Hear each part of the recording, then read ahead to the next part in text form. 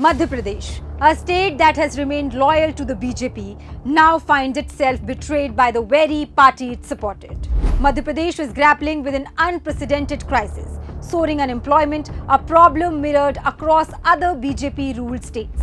Despite grand promises of job creation, the harsh reality tells a different story. Madhya Pradesh was gripped by a severe unemployment crisis. 11,70,985 young people are searching for jobs. 8,70,000 of these are graduates struggling to enter the workforce. 1,49,917 postgraduates, 1,22,532 engineers, 16,037 MBAs, 3,449 BDS graduates, and 3,621 MBBS professionals are all without work. These figures are not mere estimates. They were confirmed by the State Assembly on July 2nd. The BJP government had promised to provide 4 lakh jobs in 2022.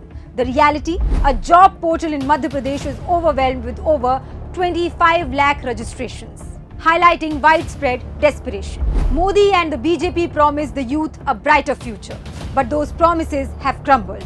It's time to move past political distractions and tackle the real issues.